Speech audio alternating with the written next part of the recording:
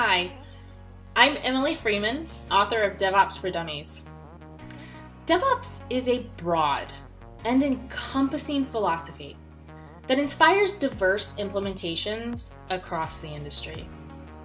I define DevOps as an engineering culture of collaboration, ownership, and learning with the purpose of accelerating the software development lifecycle from ideation to production.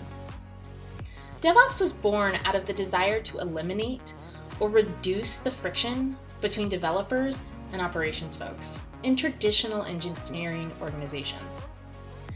By empowering engineers, DevOps improves job performance and accelerates team productivity. DevOps prioritizes people over process and process over tooling. It builds a culture of trust, collaboration, and continuous improvement. It doesn't prioritize developers over operations engineers or security over testing. Instead, DevOps treats the entire engineering organization holistically, recognizing that everyone contributes to the success of your customers. Company culture is the foundation of DevOps, and it's something that must be defined and refined over time.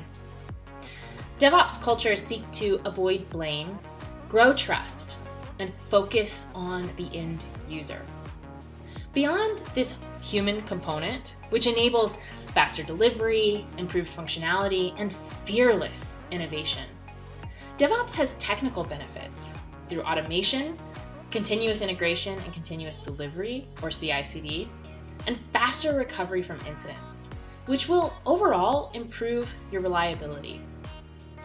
Engineering is not the only side of your organization that benefits from this practice. The business side of your company will see fewer customer complaints, faster delivery of new features, and improved reliability of your existing services. DevOps is no silver bullet, but it can have a massive impact on your organization and especially your products.